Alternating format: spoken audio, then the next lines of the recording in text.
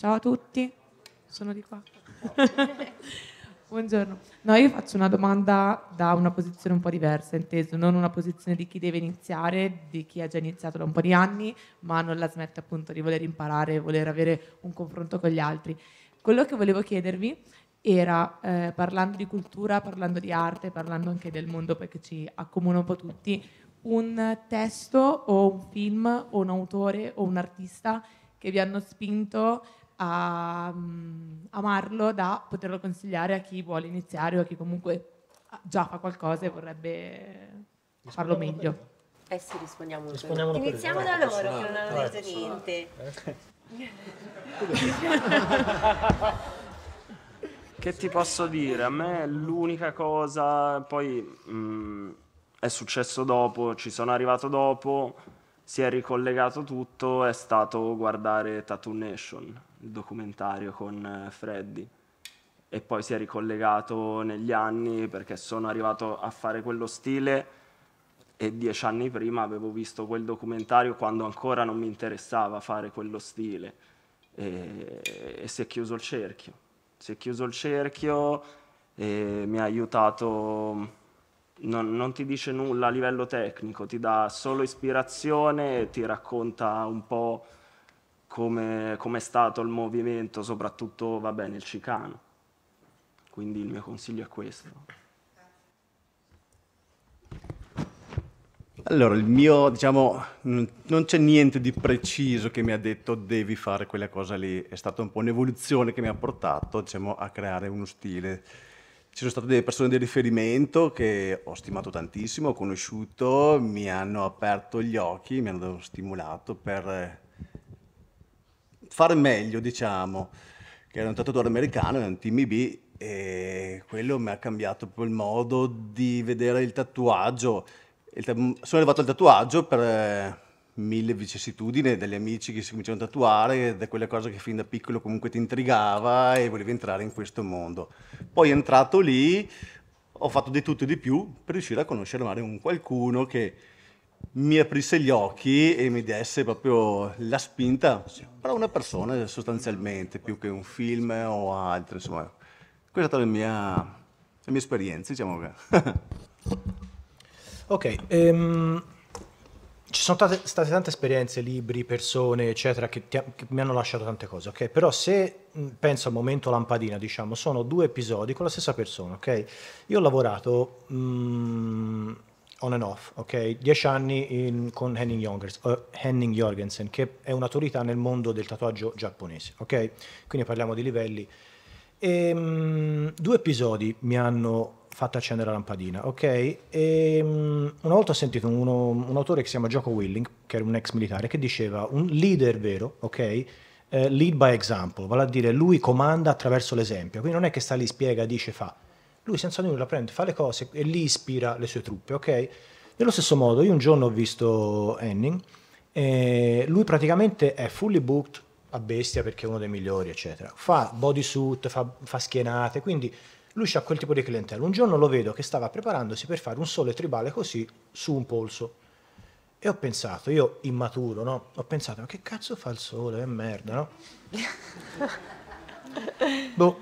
E lo guardavo. E praticamente era una cliente sua di tanti tanti anni, quindi logicamente voleva quello e glielo faceva. Io in quel momento lì ho capito cosa vuol dire essere un professionista. Lui si è messo a sistemare la postazione, montare le macchinette, ok?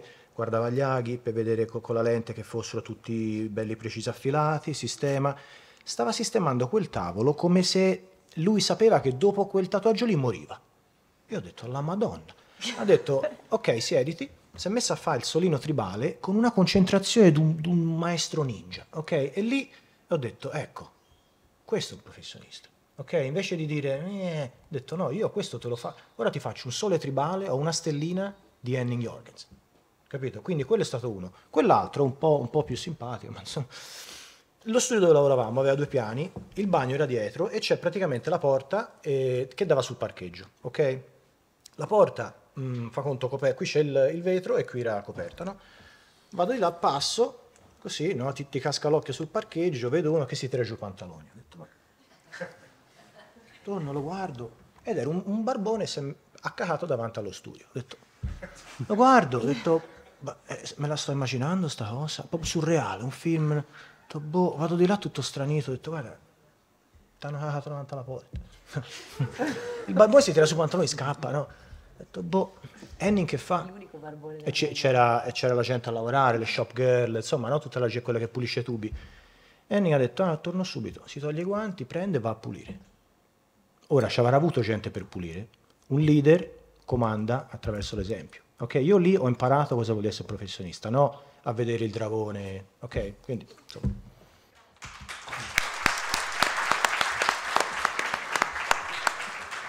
Io, io avrei voluto rispondere con dei titoli di libri, ma poi se- sembro stronza. E- allora, eh, personalmente è un libro Calligraffiti, è un movimento è un- di Nils Schumann, un artista che magari chi fa calligrafia conoscerà. E poi nello specifico, quando mi occupavo di lettering un pochino appunto più corsivo così, ehm, il libro di BJ Betts, lo, lo sketchbook di, di BJ Betts pari esperienze senza cagate sulle porte. E ovviamente no, no sì ne ho viste di peggio.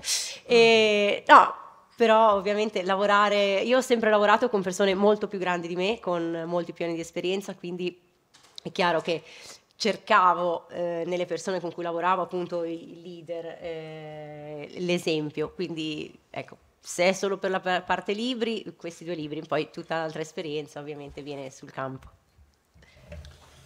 Allora, io mh, dico che i libri, i film sono tutte cose molto importanti, però sono delle cose che mh, se hai già un, eh, uno spunto da qualcos'altro che hai vissuto veramente ti possono aiutare a, a chiudere il cerchio.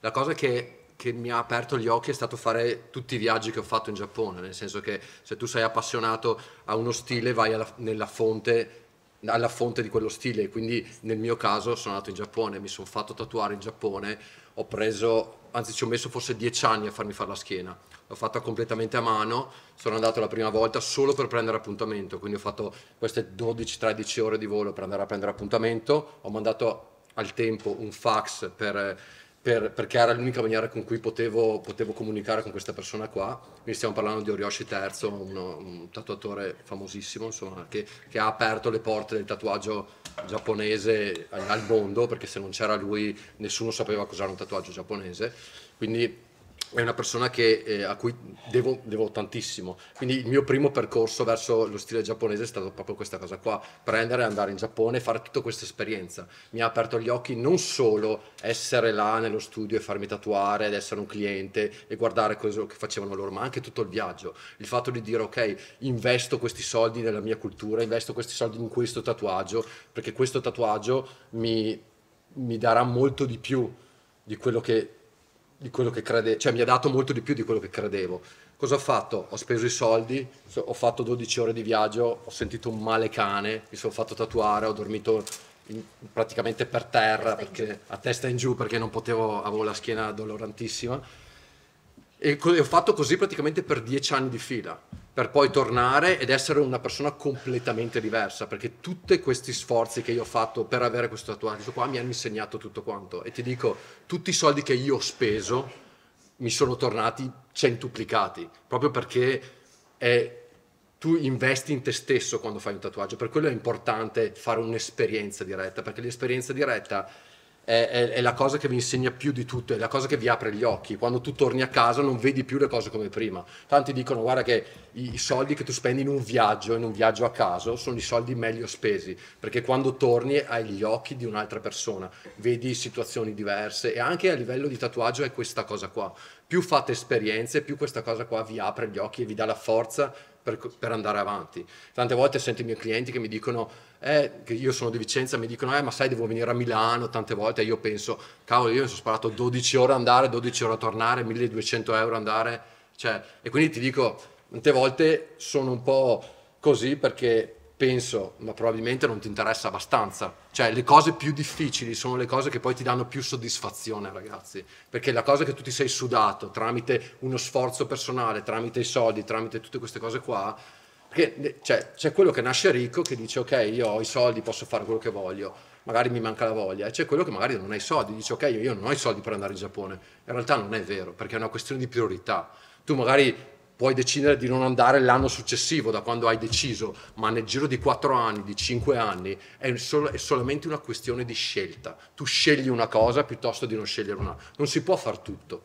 Quindi, ok, non mi posso permettere questa cosa adesso, cosa faccio? Mi trovo un lavoro migliore, mi metto via i soldi, non vado in vacanza per, per, perché voglio farmi il tatuaggio. Io le capisco queste cose qua. C'è tanta gente che viene e sta bene e non ha problemi di pagare, invece c'è tanta gente che mi dice oh, io mi faccio gli straordinari per pagarmi il tatuaggio e io questa cosa qua la apprezzo tantissimo. Come sebbene lavorando anch'io ho fatto fatica perché vent'anni fa non era semplice andare in Giappone da solo e avere un tatuaggio, anche perché poi la difficoltà di certe cose non è cominciarle, è finirle ragazzi, perché si vede se una persona ha, ha, gli attributi quando finisce una cosa, non quando la comincia. Quindi la cosa che ti apre gli occhi è l'esperienza e la devi volere in maniera, devi diventare pazzo per quella cosa lì. Devi, cioè io sono una persona che si appassiona a tutto e quando vede una cosa farebbe 24 ore su 24 quella. Io penso che questa, questa ossessione che io ho è la cosa che mi ha, mi, ha, mi, ha, mi ha, salvato, non so come dire, no. Sono molto pigro, però sono forse più ossessionato a qualcosa. Quindi quando desiderate qualcosa, cercate di...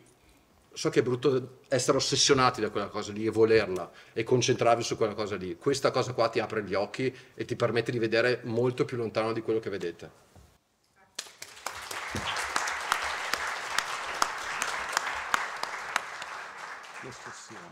Quindi a questo punto non so di cosa parlare, se di libri, di cacca fuori dai negozi o di viaggi. Quindi la mia esperienza è stata questa, eh, studiare pittura all'Accademia eh, per fare affreschi, perché era quello che volevo fare, e era il mio sogno. Eh, l'ho fatto 13 anni, mi ha distrutto la schiena e c'è stato un momento di, di crisi no? nell'edilizia, nel, cos'era il 2008, 2000, quello che è e nessuno pagava più, infatti mi dovrebbero dare un sacco di soldi perché non vedrò mai. E, um, al che mi sono messo a vendere antiquariato, e anche se avevo già fatto eh, le mie acqueforti, le mie cose, le, mio, le mie esperienze in incisione all'accademia, non, non, avevo capito quanto mi, mi, piacessero e quanto mi sentivo mie, eh, più della pittura in realtà. Al che ho preso coraggio e ho lasciato stare l'antiquariato per ritornare alla mano e alla, a fare acqueforti. Questo.